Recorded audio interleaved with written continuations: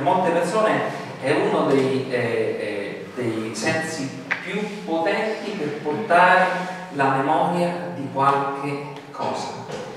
E se siete come me, quando qualche molecola di profumo, di un odore, giunge, raggiunge i vostri tessuti che sono all'interno del vostro naso e il Signore è stato così grande e magnifico da darmi un naso che è il doppio del vostro, per cui chiaramente io ho più, eh, più eh, eh, tessuto, eh, quando queste molecole raggiungono il nostro naso è come aprire un cassetto pieno di ricordi. Ah. Ci sono dei profumi che vi fanno ricordare qualche cosa eh, del passato? Sì, il ragù. Il ragù, ok. Altri? Nessun altro ha un profumo che gli ricorda qualche cosa? Ok. Io sono come Speranza, l'odore, ma un tratto particolare Speranza, eh? l'odore del battuto. chi, non so se, se chi, chi, non è montefiasconese lo sa. L'odore del battuto era il sugo fatto come si faceva una volta, che si prendeva il lardo e si batteva sulla pappilata. L'odore del battuto mi fa, mi fa ritornare ai tempi in cui mia nonna si alzava alle 6 del mattino per pregare, come faccio io eh, eh adesso, e nel frattempo, visto che c'era tempo, di, di, eh, tempo durante la preghiera, faceva il battuto, metteva il battuto, metteva il faceva il soffritto e metteva la pentola di coccio sulla stufa a legna e la lasciava lì per farlo, come si dice, sobbollire. Eh? Faceva più e l'odore si spandeva, lei andava in chiesa, andava alla chiesa, tornava così che, eh, verso le 10 così che fosse tutto quanto e mi fa ritornare veramente a quando ero bambino. Poi c'è un altro profumo in particolare, di, una, di, un profumo che si chiama Lucky Days, Giorni Fortunati. Non è un profumo molto eh, eh famoso né costoso, non penso nemmeno che venga più fatto, era, una, era un, un, un, profumo di quelli che trovi al supermercato ma era quello che mio padre mi regalò per il mio diciottesimo compleanno e che io portai durante la mia gita del quinto eh, liceo sui monti eh, del Trentino.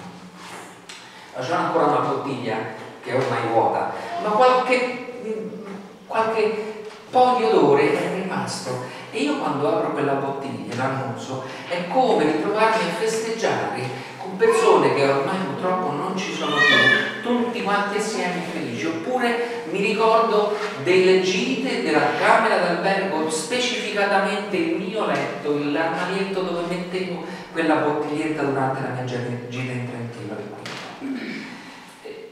Vedete, non sono soltanto memorie, sono veramente cose reali che io posso quasi toccare, le posso vedere con, mia, con gli occhi della, eh, della mia mente. E allora forse vi state chiedendo, ma scusa che c'entra tutto questo con, eh, con, Dio? Come si fa a parlare di un Dio che odora? Eh, certo non possiamo annusare Dio, non possiamo annusare Dio come è, è scritto nel cartello. Ma se leggo la, la Bibbia scopro che quella mia caratteristica di reagire agli odori, di reagire e di associare un odore gradevole a una memoria, non è mia.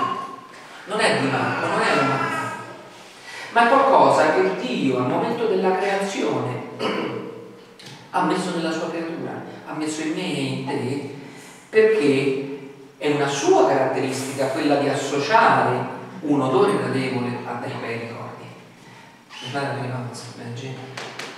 Sin dall'inizio, da, da, Genesi, questo è il brano di Genesi è 8, dal versetto 18 al versetto 22. Dice così, Noè uscì con i suoi figli, con sua moglie e le sue mogli e le mogli dei suoi figli Tutti gli animali, tutti i rettili, tutti gli uccelli, tutto quello che si muove sulla terra secondo le loro famiglie uscirono dall'arca. Noè costruì un altare al Signore, prese gli animali puri di ogni specie, uccelli puri di ogni specie e offrì olocausti sull'altare. Il Signore sentì un odore suave e il Signore disse in cuor suo, io non maledirò più la terra a motivo dell'uomo, perché il cuore dell'uomo concepisce disegni malvagi fin dall'adolescenza. Non colpirò più ogni essere vivente come ho fatto, finché la terra durerà, semine raccolta, freddo e caldo, estate, inverno, giorno e notte, non cesseranno mai. Dio qui sente letteralmente il profumo dell'olocausto. Eh, non è che se lo immagina e associa quell'odore che era l'odore di un buon arrosto, era un arrosto misto. per cui sentiva questo eh, odore, insomma, quando sentite l'odore d'arrosto che mi viene, a me mi viene l'acquolina in bocca. E la stessa cosa che succede a Dio.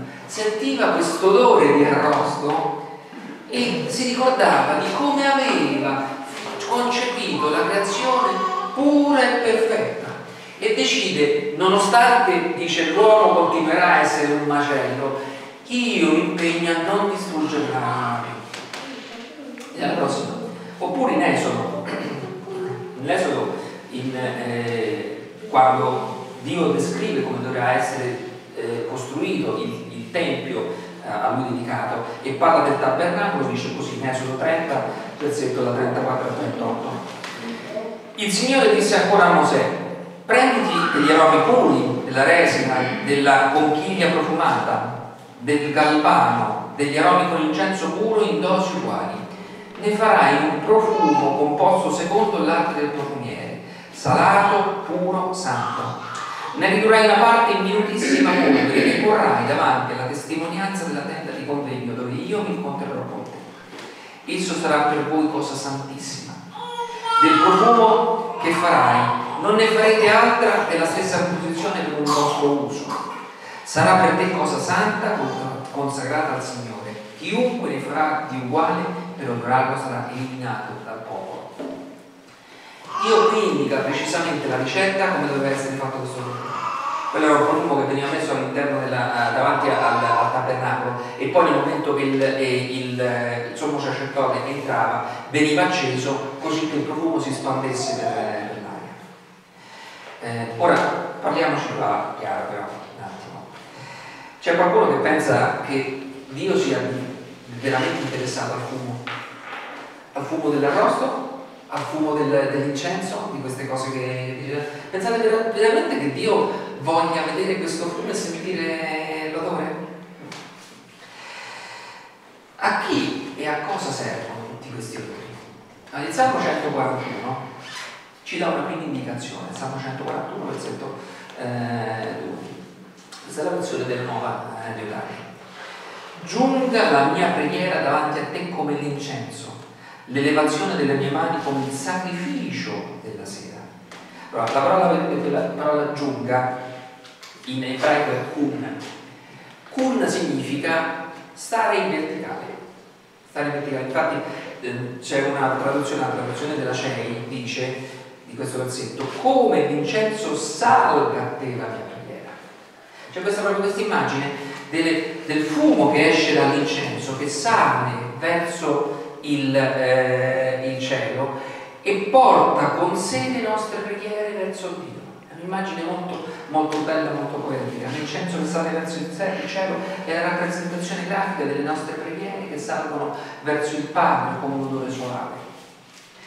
Ma soprattutto per poter far arrivare un odore suave, che sia di arrosto o che sia eh, un profumo di, eh, di incenso, c'è da fare, c'è da predisporre per creare un odore. Non è un odore che viene così semplicemente, la prima cosa che bruci, sale al cielo, brucio un po' di carta, sale al cielo e il Signore dice, oh mamma mia che bello odore, quindi non è così.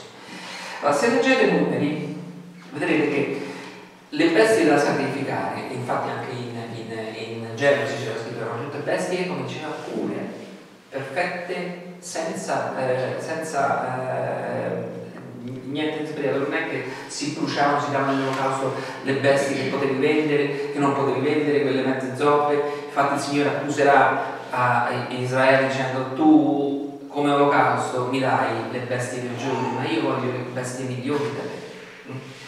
Invece erano le bestie più sane, quelle che se vendevano vendute avrebbero fruttato una gran quantità di, eh, di soldi. E quelle voleva il Signore. Allo stesso modo la ricetta che dà Dio la dà con dei, eh, con, per confezionare quel profumo, la dà con degli elementi che non erano facili trovarli e non erano nemmeno di, di poco costo, ma erano molto costosi, è composto da elementi che non era facile trovare e che costavano tanto. Per far arrivare un buon odore alle narici di Dio, devo operare, impegnarmi personalmente nella ricerca di quello che fa eh, che è Dio, faticare per trovare le cose giuste con cui comporre il mio olocausto, il mio sacrificio. E soprattutto sono cose che debbono costare, mi debbono costare personalmente. Devo spendere del mio per poter fare un odore che sia gradito a Dio. Sapete qual è il profumo migliore che abbia mai accusato Dio? Ne parla Paolo in Efesini, al versetto eh, 5, la prossima. Efesini 5, versetto 1, da 1 a 2. Siate dunque imitatori di Dio come figli amati e camminate nell'amore come anche Cristo ci ha amati e ha dato se stesso per noi in offerta e sacrificio a Dio quale profumo di odore suave. Ecco, ecco il profumo più, più suave al mondo, quello che ha richiesto la maggior fatica e quello che ha, che ha avuto un costo maggiore che è costato di più di tutte quante le cose mai offerte a Dio. La fatica di abbandonare la propria caratteristica, la propria natura divina e scendere e incarnarsi in un uomo per pur di scendere in terra ad incontrarci. E il costo di morire sulla croce come un reietto, come un brigante, come un malfattore, pur essendo del figlio di Dio. La cosa più costosa è questa eh, vedete, dice siate dunque imitatori. Paolo usa una parola che in greco è mimetes. Vi suona familiare mimetes? Chi è che conosce che, che cos'è un mimo?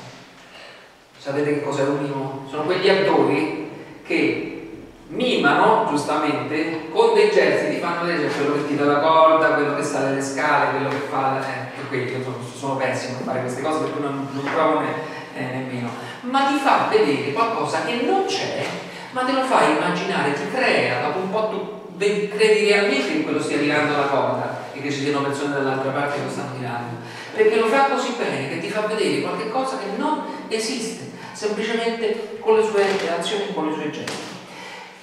Paolo dice a, a noi la stessa cosa, esattamente quello che Paolo ci chiede di fare, di essere dei mimi per chi ci guarda. Mimare che cosa? far vedere attraverso le nostre azioni e i nostri gesti un mondo che non c'è adesso in terra, perché non c'è quel mondo che Dio ci chiama a, a far vedere, ma che è presso Dio, rendere visibile quello che è invisibile. Attualmente il regno di Dio non può essere visto se non nei figli di Dio. In che modo? C'è un, un sistema? Certamente ce lo dice Paolo nei Romani. Romani 12 da 1 a 2.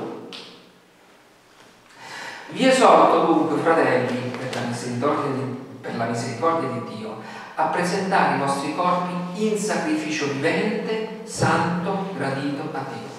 Questo è il, vostro, è il vostro culto spirituale. Non conformatevi a questo mondo, ma siate trasformati mediante il rinnovamento della vostra mente, affinché conosciate per esperienza quale sia la volontà di Dio, la buona, gradita e perfetta volontà. Paolo parla di sacrificio, parla di sacrificio. Ed abbiamo visto che ogni, che ogni sacrificio produce un profumo soave, che potrebbe essere di arrosto o, o, di, o, o, di incenso, che arriva a Dio e provoca in Dio dei ricordi che sono lieti, che sono felici.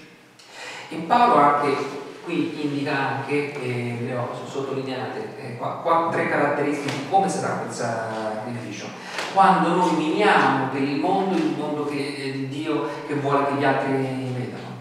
sarà un sacrificio vivente, dice, vivente, in greco zao, che significa sì vivo, ma significa anche pieno di forza, efficiente, efficace. Il nostro sacrificio sarà efficace, produrrà realmente qualcosa quando mimiamo negli, agli occhi degli altri la vita che Dio vorrebbe che gli altri avessero. Sarà un sacrificio santo, questa è una parola che abbiamo conosciuto tante volte, agios, che significa messo da una parte, separato, distinto. Il nostro sacrificio non è una cosa che, che sarà comune a tante altre cose. Il sacrificio delle nostre vite sarà distinto, separato, si vedrà che è un'altra cosa rispetto a tutto. Infine sarà un sacrificio gradito, euarestos, che è una parola composta da arestos, che significa accettato, più il rafforzativo eo, che significa sarà pienamente accettato. Dio accetterà perfettamente quando io gli offro la mia vita per fare il minimo a quello che lui vuole che gli altri vedano come, come è il mio obiettivo. Allora, qual è dunque il sacrificio secondo Paolo che crea il profumo tramite il quale avrò un sacrificio che è efficace, distinto e pienamente accettato da Dio. Date, la prossima. No? Sì, Guardate il versetto 2a. Non conformatevi a questo mondo, ma siate trasformati mediante il rinnovamento della vostra mente.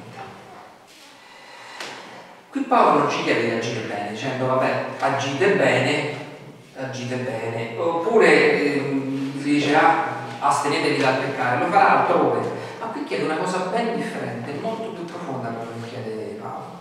Qui chiede una trasformazione, greco trasformazione metamorfo, metamorfosi, composto da morfos, forma, meta, un'altra. Paolo ti dice che tu devi avere un'altra non quella che hai adesso. Ti devi trasformare, cioè presente l'esempio che facciamo sempre, il bruco e la farfalla. C'è una metamorfosi da bruco a farfalla. Prima c'era una cosa, adesso c'è una cosa che è completamente differente da quella che era eh, di partenza. Ovvero una forma successiva che passi attraverso un rinnovamento, rinnovamento Rinnovamento particolare, anakainosis. Anakainosis, rinnovamento, è un concetto filosofico molto complesso nella filosofia, soprattutto Paolo che conosceva la filosofia greca usa questa parola in, in maniera particolare. Adesso provo, facendo un esempio stupido, a, a, a, a spiegarvi che cosa intendeva Paolo. Allora, quando eh, ieri Janet ha cominciato a fare quello che si chiama rinnovamento di guardaroba. Chi è che ha già rinnovato il guardaroba? Ecco, che cosa avete fatto? Avete svuotato la roba invernale e ci avete messo quella estiva. Allora, quando fai il guardaroba tra una stagione e l'altra, che cosa fai? Fai quello che ho detto adesso. Non è che prendi la roba che hai nei cassetti la lavi e poi la rimetti là magari cambiando il di posto.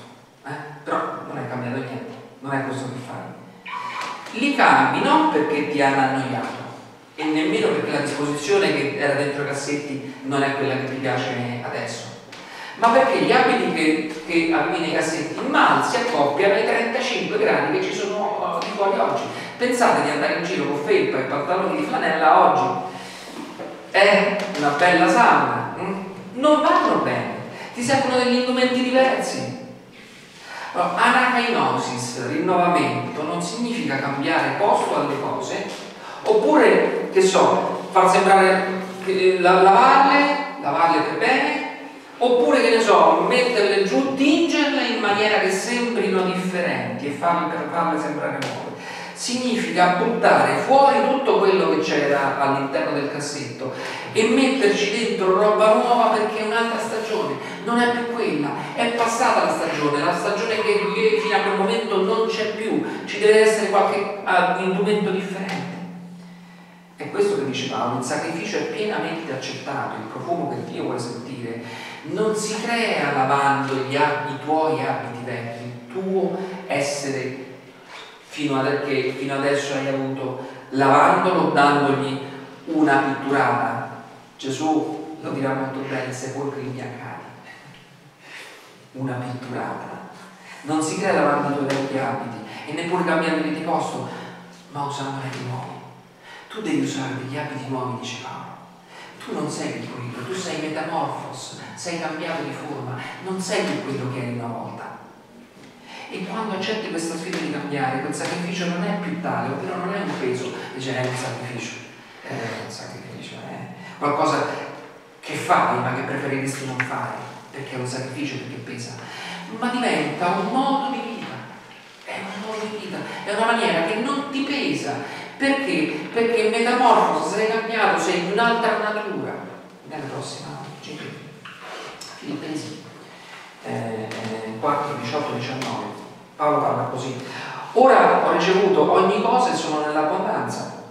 Sono ricolmo di beni, avendo ricevuto da Epafrodito quello che mi avete mandato, che è un profumo di odore suave, un sacrificio accetto e gradito a Dio. Ora la chiesa di Filippi non è che se la passasse molto bene, non è che erano che diceva vabbè, tanto ci avevo tanta roba, te, mandalo a Paolo, va, questo è, ho 15 camicie, mandagli 5 che tanto a me 10 no no era una chiesa che aveva i suoi problemi. Le chiese eh, primitive erano tutte composte da un ceto medio basso della società e anche bassissimo.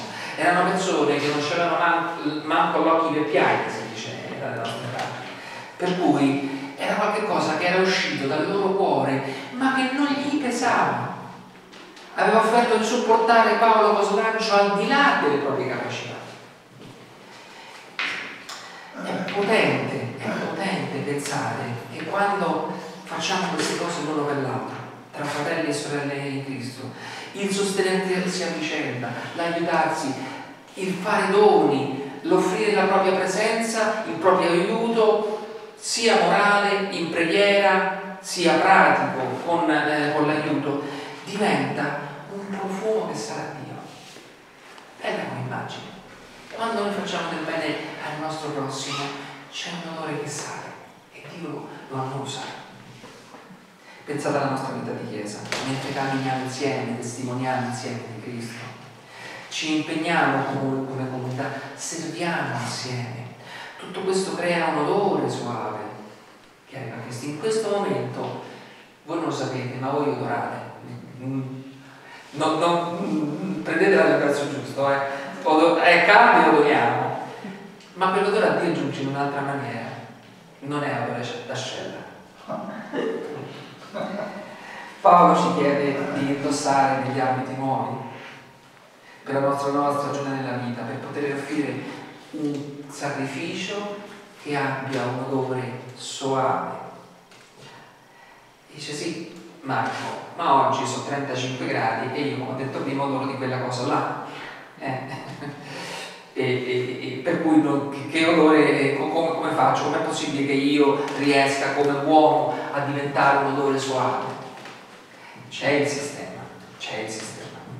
Ti avevo detto che la parola kainosis, rinnovamento, era stata usata, non so se l'avevo detto, era stata usata Paolo soltanto due volte acainosis, rinnovamento, Paolo la usa soltanto due volte, una era quella che avevamo visto e l'altra è questa qua, è Tito, Tito, eh, capitolo 3, versetto 5 e, e 7, dice così, Dio ci ha salvati non per opere giuste da noi compiute, ma per la sua misericordia, mediante il lavacro della rigenerazione e del rinnovamento dello Spirito Santo che Egli ha sparso abbondantemente su di noi per mezzo di Cristo Gesù, nostro Salvatore, affinché, giustificati dalla sua grazia, diventassimo speranza e eredi della vita eterna. Ora, la rigenerazione, vedete quella parola, è paligenesia, che significa nuova nascita. È una nuova nascita.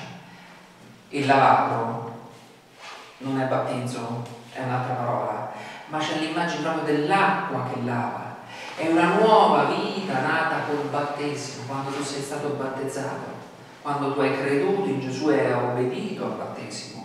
C'è una nuova nascita che porta al rinnovamento.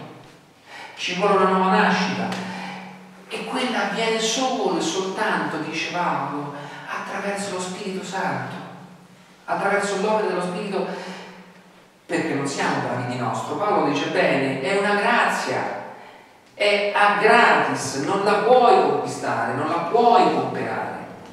Solo attraverso Cristo puoi ottenerla, soltanto attraverso Cristo puoi ottenere quella rigenerazione. Solo essendo suo discepolo, sua discepola, puoi riceverla. Solo seguendo Gesù Cristo puoi essere un profumo per Dio. Ecco come il tuo odore diventa un profumo per Dio. Quando diventi un discepolo, quando diventi una discepola di Cristo e segui le ordini di Cristo.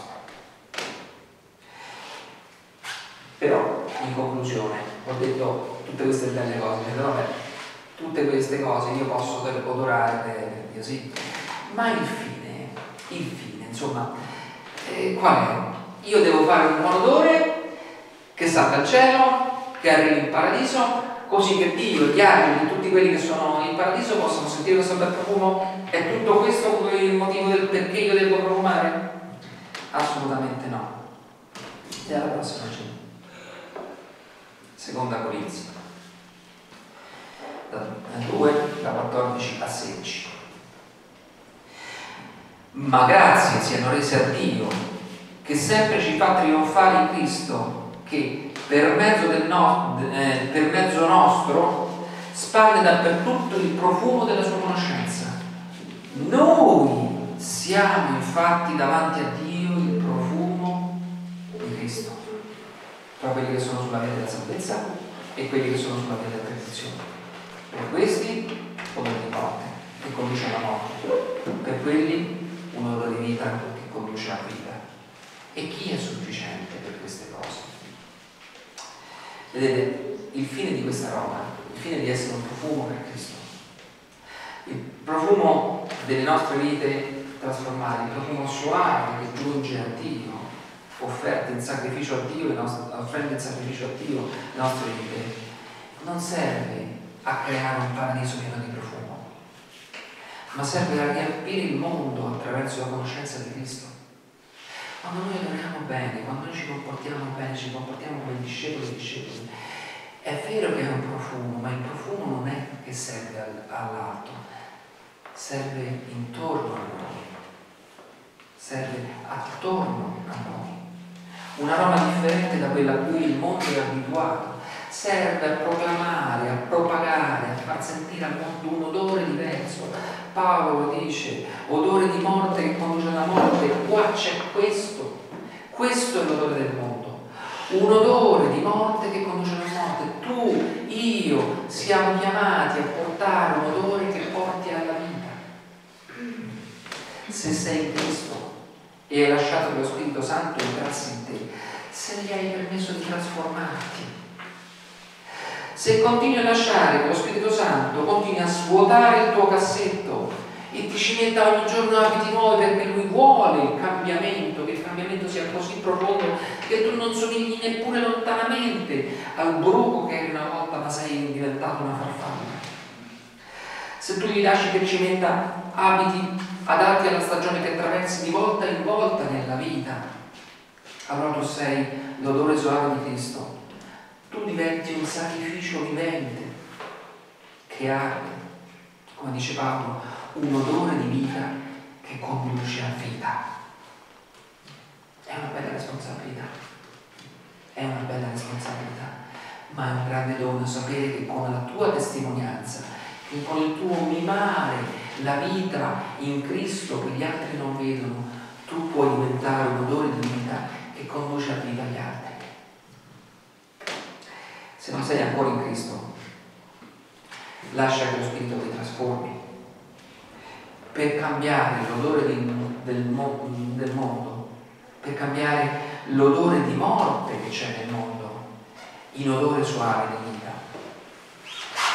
Dice Paolo, noi siamo il profumo di Cristo. Andiamo già pregare.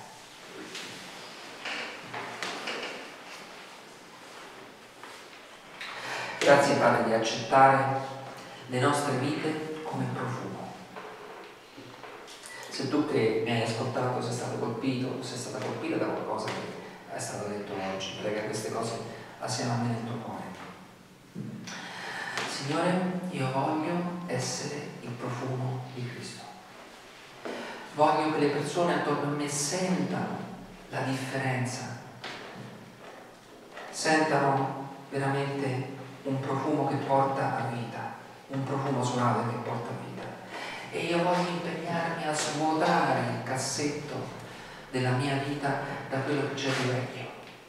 Spirito Santo, aiutami in questo, aiutami a svuotare completamente il mio cassetto. Mettici cose nuove, mettici nuova vita, mettici nuove energie, nuove forze, perché io voglio essere completamente trasformato, voglio essere completamente trasformata. Voglio il rinnovamento, voglio essere rinnovato dal tuo Santo Spirito, Signore Gesù. Queste cose vi prego nel tuo Santo nome. Amen.